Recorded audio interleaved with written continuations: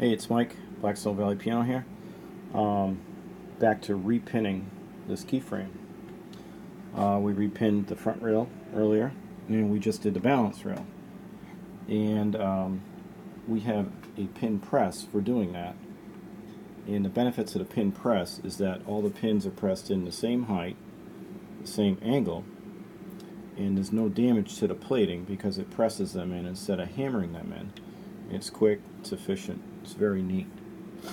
So, I mean, as far as repinning, simply just, it's all pneumatic. Just press down the handle and it presses them in. So again, they're all the same height, same angle, and they're all perpendicular to the keyframe because this fixture was made very accurately. So let's talk about pins for a second. A little bit of a history on pins. These are pins. They're nickel plated or chromium plated brass. Okay, these, in my opinion, are the best. Then there's what's available now, which is steel pins, either chromium or nickel plated, meaning the core metal is steel.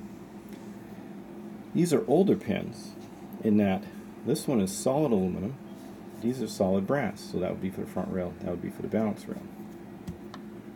So what we have for replacement options is we can get these pins, which are solid brass, but they're not available in all the sizes we need to do a replacement keyframe or replace the pins on this keyframe. They're just not available. When we make a new keyboard and can control the pin diameters and stuff, I'll choose the brass ones. There's another newer pin design out. It's the same diameters and heights, but they're aluminum anodized. And then there's the replacement steel pins, which come in the different sizes that we need to do this piano. Now the problem with replacing the original brass plated pins with the newer steel pins is that brass bends easily from side to side. So when you need to do some minor adjustments with the brass pins, they bend easily. While the steel pins do not.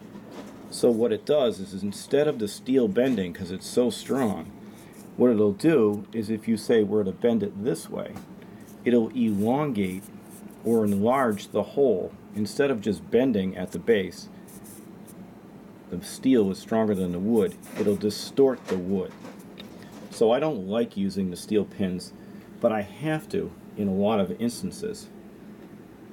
So to overcome that problem of elongating the holes, we've actually employed two corrective measures to the repinning of this keyframe to help in preventing that elongation of the hole that the pin is in.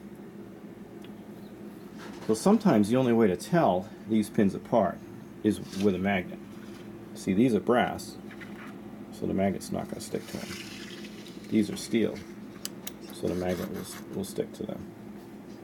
So again, nickel plated or chromium plated brass, nickel or chromium plated steel, solid aluminum, solid brass, newer pins, brass core, plated aluminum anodized pins, steel pins. We've repinned the balance rail, front rail. Notice everything is nice and straight at the same angle. So now all we have to do is put punchings on.